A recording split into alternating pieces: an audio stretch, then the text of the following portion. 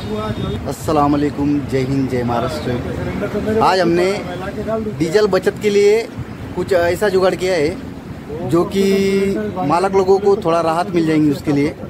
तो आपको सिर्फ़ हम उसका सैंपल बताएँगे मतलब किस तरह बना है और कैसा वेल्डिंग हुआ है। तो शॉर्टकट में बताएँगे इसको। वेल्डिंग वगैरह करके नहीं बताएँगे, क्योंकि ताकि गाड़ी के ऊपर लगा है और गाड़ी के ऊपर ही हमने ये काम शॉर्टकट में किया है। तो ये आपको अभी हम दिखाएँगे। ये वो जुगाड़ है जो अंदर के तरफ़ मैंने फिक्स किया है। इसमें नोजल वगैरह जाता है डीजल का। तो अभी तो इसे बहुत सा काम है इसमें वेल्डिंग वगैरह मारने का। तो वेल्डिंग तो आपको मार कर हम दिखाएँगे नहीं, क्योंकि गाड़ी जो है, टाकी गाड़ी पे लगी हुई है। ऊपर के ऊपर ही करना है इसे। तो इससे क्या होता है कि डीजल वगैरह बचत होता है। डीजल चोरी नहीं होता है। इससे मालक लोगों का फ़ायदा है।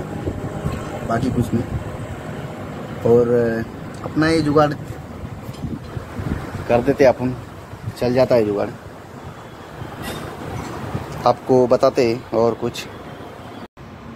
तो ये डीजल जाली को बनाने का मतलब ऐसा है, क्या चोरी करने के लिए डायरेक्ट लोग गाड़ियाँ लेके फिर रहे हैं। जैसे कि छोटा हाथी में ड्रम वगैरह रख के, मशीन से मशीन से चोरते वैन के अंदर मशीन लगा लिए, मशीन लगा के उससे चोर लेते डीजल।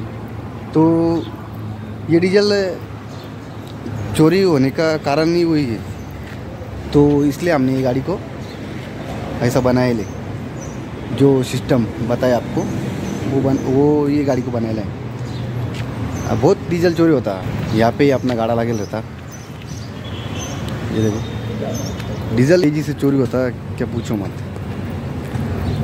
गाड़ी लगा के रात में रात में कोई गाड़ी हाईवे पे ख़राब हो जाए। रात में कोई गाड़ी हाईवे पे ख़राब हो जाए तो रात में दो दो, तीन तीन बजे, चार चार बजे वो डीजल निकाल लेते गाड़ी में से। मतलब मशीन लगा के चोर लेते डायरेक्ट।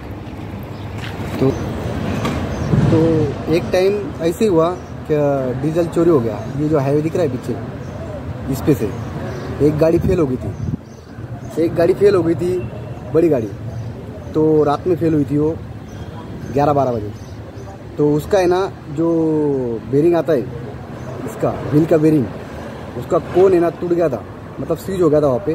बेरिंग वगैरह निकल गया था बाहर। तो मुझे बुलाया गया ग्यारह बजे रात को।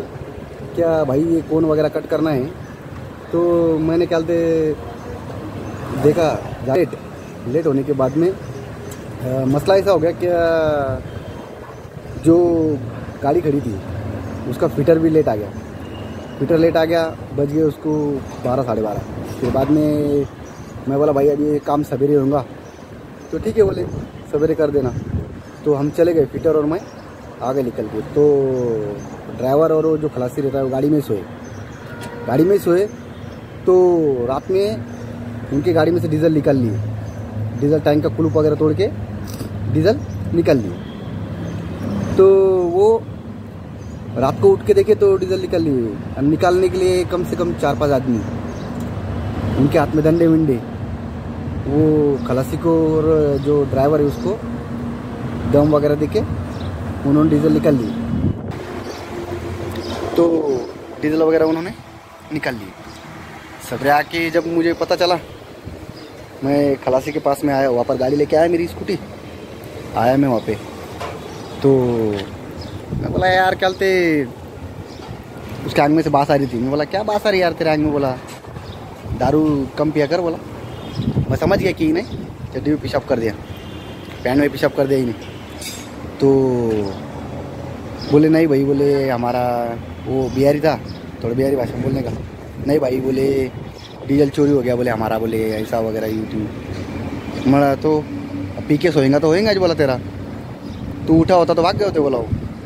तो नहीं, बोले, वो डंडे वगैरह लेके आए थे, शायद उसको मारे भी रहे होंगे। तो उन्हें चड्डी में पिशाब कर दिया। डीजल वगैरह चोर के गए तो कितना? तो बोले, सौ डेढ़ सौ लीटर था। बोले, अभी मालक को फ़ोन कर दिए, बोले वो भेजेगा, बोले, आपके अकाउंट पे बोले, आप हमारे को दे दो पैसा, हम डाल लेंगे। ऐसा वगैरह बोल के, फिर उसका काम वगैरह हमने करे तो उसकी बेरिंग वगैरह फूट गई थी ना।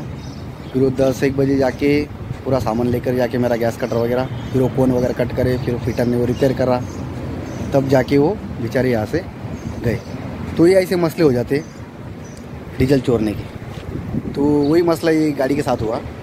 फिर मैंने क्या राजू भाई को ऐसी आइडिया दिया मतलब हमारे जो फिटर है, जो जो कि जो गैरेज वाले इन, इन्हीं की गाड़ी हो तो मैंने उनको ऐसा आइडिया दिया, ऐसा ऐसा करेंगे आप उन्हें। मैंने एक गाड़ी में देखा था।